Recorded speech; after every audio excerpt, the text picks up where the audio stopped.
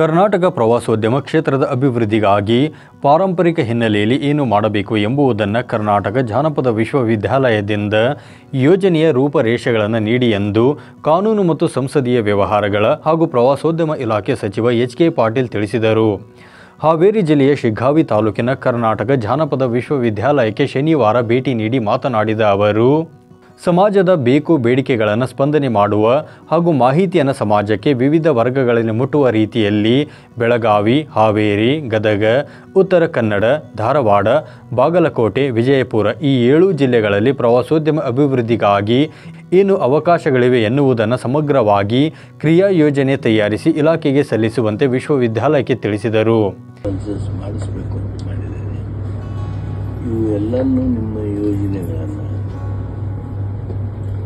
Project report ಮಾದರಿಯೊಳಗೆ ತಯಾರು ಮಾಡಿ ನಮ್ಮ ಡಿಪಾರ್ಟ್ಮೆಂಟ್ ಕೊಡಿ.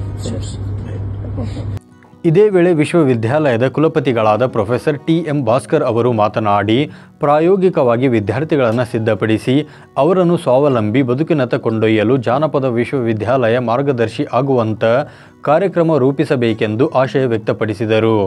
ಈ ಸಂದರ್ಭದಲ್ಲಿ ಕುಲಸಚಿವರಾದ ಪ್ರೊಫೆಸರ್ ಸಿ ಟಿ ಗುರುಪ್ರಸಾದ್, ಮೌಲ್ಯಮಾಪನ ಕುಲಸಚಿವರಾದ ಪ್ರೊಫೆಸರ್ ಎನ್ ಎಂ ಸಾಲಿ, ಸಚಿವರ ವಿಶೇಷ ಕರ್ತವ್ಯ ಅಧಿಕಾರಿ ಡಾಕ್ಟರ್ ಲತೀಫ್ ಕುಣ್ಣಿಬಾವಿ, ತಾಲೂಕಾ ದಂಡಾಧಿಕಾರಿ ಸಂತೋಷ್ ಹಿರೇಮಠ್ ಸೇರಿದಂತೆ ಬೋಧಕ ಹಾಗೂ ಬೋಧಕೇತರ ಸಿಬ್ಬಂದಿಗಳು, ವಿದ್ಯಾರ್ಥಿಗಳು ಉಪಸ್ಥಿತರಿದ್ದರು.